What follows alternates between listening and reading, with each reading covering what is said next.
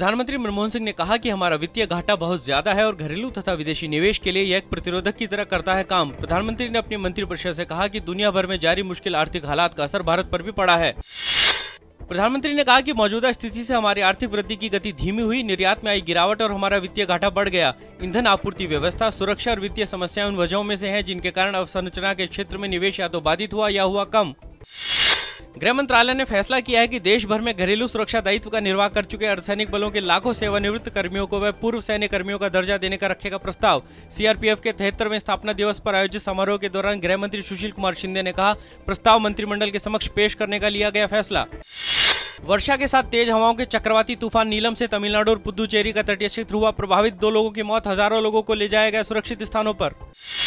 तूफानी हवाओं के कारण चेन्नई तट पर तेल का एक जहाज़ टकराया, पंद्रह नाविकों को बचाया गया। आधे दर्जन नाविक अभी भी लापता। तूफ़ान के प्रभाव से तमिलनाडु में कई स्थानों पर और आंध्र प्रदेश के रायलसीमा क्षेत्र में आज भी भारी बारिश की संभावना।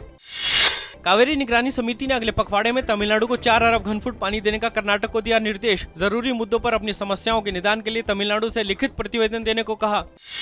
दिल्ली, मुंबई और कोलकाता में आज से लागू हुआ केबल टीवी डिजिटलाइजेशन, केवल सेट टॉप बॉक्स से ही देखा जा सकेगा टीवी। चेन्नई के लिए इसकी अंतिम तारीख 5 नवंबर तक बढ़ाई गई। कोषों और छोटे निवेशकों की उच्च स्तर पर मुनाफा वसूली से बम्बई शेयर बाज़ार का सेंसेक्स चौवालीस अंक नीचे खुला। आज सेंसेक्स अठारह हज़ार चार सौ इकसठ पर खुला। इसी तरह नेशनल स्टॉक एक्सचेंज का निफ्टी भी ग्यारह अंक नीचे पाँच हज़ार छह सौ नौ पर खुला। लगातार तीसरे दिन तेज़ी के रुख के साथ डॉलर के मुकाबले रुपया आठ पैसे मज़बूत होकर तिरपन रूपए बहत्तर पैसे प्रति डॉलर पर खुला। निर्यातकों की सतत डॉलर बिकवाली से रुपया हुआ मज़बूत।